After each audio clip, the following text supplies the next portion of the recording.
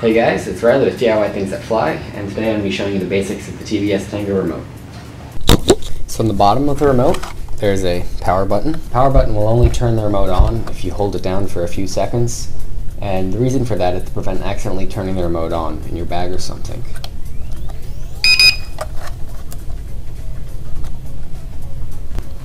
On the left, there are the three buttons to control which channel your video receiver is viewing. Up and down will go up and down channels in whatever band you're in. If you keep hitting up, eventually you'll pass the band.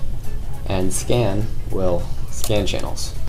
This transmitter has access to all five commonly used bands, so that's A, B, E, um, airwave, and race band.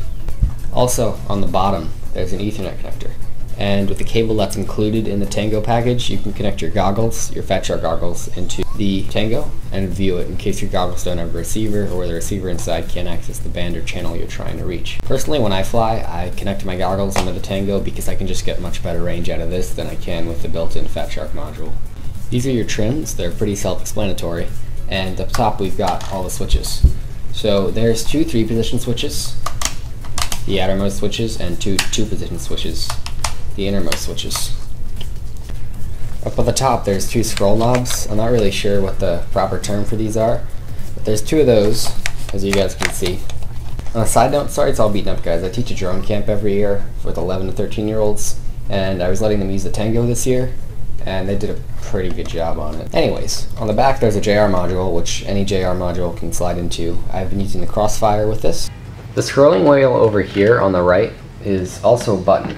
If you hold it down for a few seconds, you'll enter the Tango menu. To scroll up and down, just scroll the wheel. So exit will obviously exit the menu. Under drone, you can add your new models. I only have one model set up right now, it's for my Vendetta. Soon I'll have another one for the Alien over here.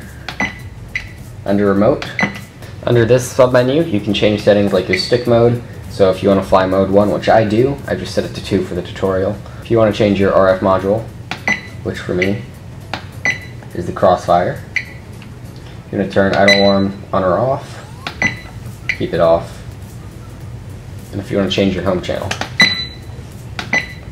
which is the channel that your Tango boots up to when you turn it on in the first place.